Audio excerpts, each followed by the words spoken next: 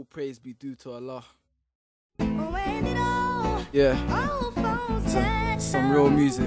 Something you can feel. T- not that Tinchy Stryder shit. And that end ups, that fake commercial crap. Listen, yeah, falls down. Max, you all, it all you this. Forgive me, mum. I'm a product of my environment. I'm the one to blame, not the thugs, not the gangs, and not the government. For what I did, I had a choice in all of it. Never had to go through all this shit. This is the journey of my manhood. It's the ghetto youth's transgression into adulthood.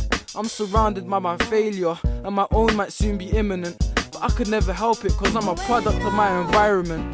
Listen, mother, you never did nothing wrong. This is why I need you to just sit down and listen to this song. You raised me the best that you could have ever done, and it's cause of you, I'm an intelligent one. But that's the problem, everyone sees that and trusts me to make the right choices. No one thought that I needed their help, so I listened to the devil's voices. Even the most sensible individuals lose control. And I've lost the grip, and that's why I'm falling through the hole. Trying to pick up the pieces of my past is long, cause I know too well where I went wrong. And trying to fix the past is a foolish idea. And not learning from my mistakes is what I fear.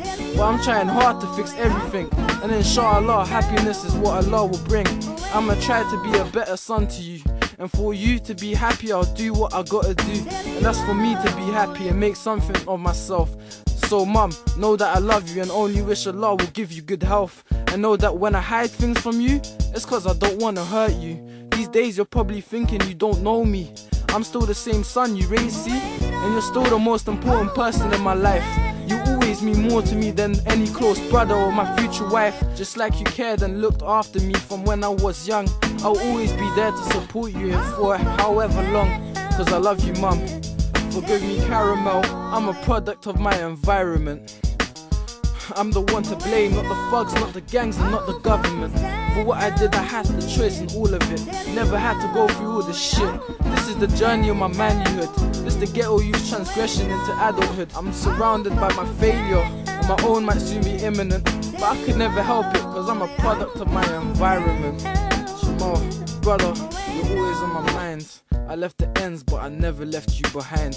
I can never forget that night your life was taken by a bang and a flashing light.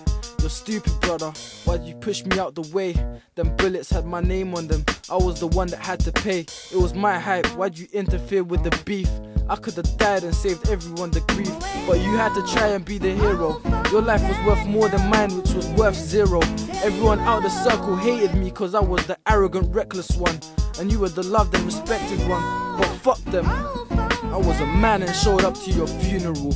And I made sure I comforted Naomi during the burial. You just made my whole life a lot harder. You gave me a second chance and I gotta make a success out of it so you never died in vain. And knowing I could have prevented this and you can be here now brings my heart pain.